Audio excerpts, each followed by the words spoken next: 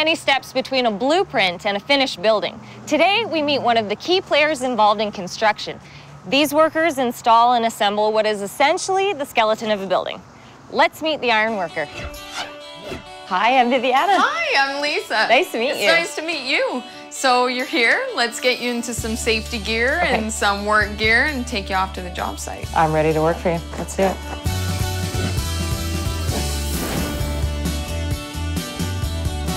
There are two aspects of um, the ironworker. There's the reinforcing steel and structural steel. I've worked my entire career here at Namdor and we specialize in reinforcing steel. That is what we do.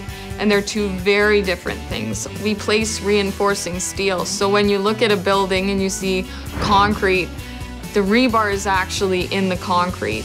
The biggest part of the job is probably packing and tying steel. We pack the steel out by hand and we lay it and tie it. Well, we arrive at the job site bright and early and kind of have a pep talk about what's going to go on today, what we need to accomplish, and go out, have a look at what needs to be done, and sort of delegate different roles. When we come to a job, we basically come after the formwork. Formwork gets laid down, and once there's a wooden deck, we come in, we put down our steel, and concrete is poured on top of that. Lisa, where are we right now? So, Viviana, we're between Pandora, Fisgard, and Victoria at the job site called the Union. Gotcha. And what we're looking at right here is our last slab on this building. All right, well, show me some rebar up close. Absolutely, Okay. let's go. It's an apprenticeship-based training. So you can either enter the job without any training, um, get trained on the job, and there are opportunities to go to school afterwards um, to get your journeyman's ticket at BCIT that they teach the rebar program. And it basically consists of a 23 week program that's broken up into seven week segments. Usually we work a 40 hour work week, eight hours each day.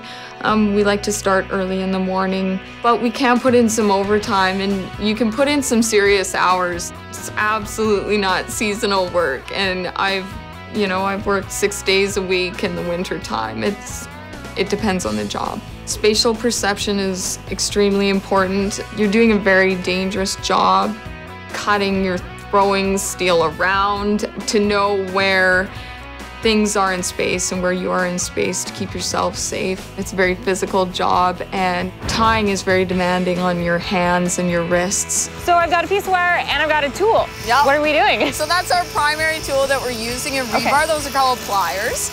You're gonna wanna put that wire around the bottom of your carry bar right here. Okay. Grab that with the teeth of your pliers. You're gonna cross over, Oh, wow. keep twisting it same direction. And this can be dangerous because you can break your wire, but what we usually do to Ah, I broke the wire. Yeah, but it's still holding, it's good. Okay. When we get our drawings, we see the steel as dots and lines. And now to take that out into reality, when you have a bar that's represented by a, dot, which is almost like a puzzle. We're packing, so it, essentially we're lifting weights all day. If you've done deadlifts at the gym, that's what you're doing.